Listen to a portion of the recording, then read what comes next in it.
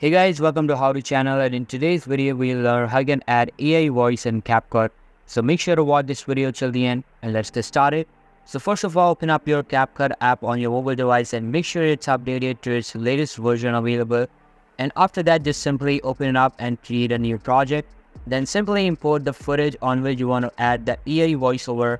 And once you are done, simply select the text tool and type in something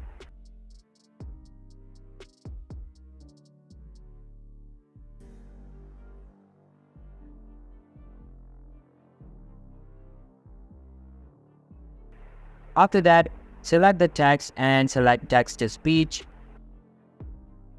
Now you can choose any narrator and your text will be converted into an audio. Subscribe to How To channel. Subscribe to How To channel.